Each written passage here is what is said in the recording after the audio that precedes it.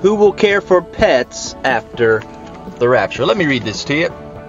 A forward thinking entrepreneur is offering, this is an actual Dayton Daily News, February 27, 2010, on a Saturday. A forward thinking entrepreneur is offering to care for the pets that belong to people who expect to be saved in the rapture. According to a story in Business Week, the service calls itself the next best thing to pet salvation in a post rapture world. Now, listen to this more than 100 clients have already signed up paying $110 for a 10 year contract. 100 people have already signed up for this.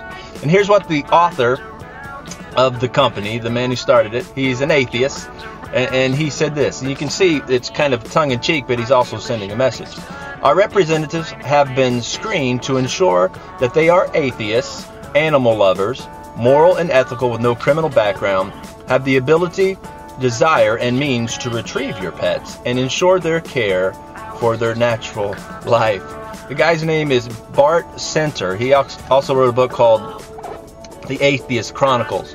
What he's saying is bah humbug to your end time prophecy, you Christians. He doesn't even, you know, believe in God. Uh, I'm going to take the risk myself that there is a God, His Bible is true, and that what He has to say concerning the end is going to come to pass. Now, that was for my wife uh, honey. She said she had been thinking about our pets and, and praying about them concerning the end times. Uh, if they don't go with us, honey, in the rapture, just rest assured that these nice atheists who are going to be left behind, that they're going to take care of our pets. I'm sorry I've not thought about our pets, but I think we've got uh, an answer there. Today we're going to finish uh, talking about our teaching on the Antichrist Part 2, and we're also going to talk about the number 7, God's time clock, the number 7. Watch this clip and see if you can remember. It's way back when. It's a Sesame Street clip concerning the number 7. Very trippy. I think back in the late 60s and early 70s, there was a lot of drug taking that went into kids' cartoons. Check this out. Enjoying this series. See you in just a second. Bye bye. I am the eyes that see you. Seven.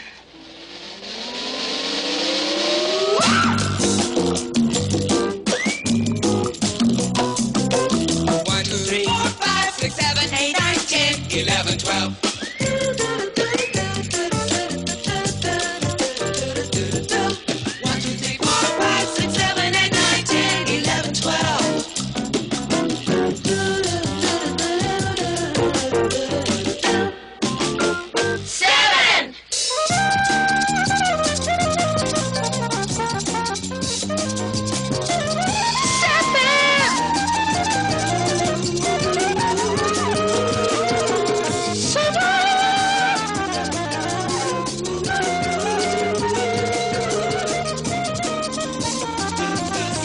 Looks like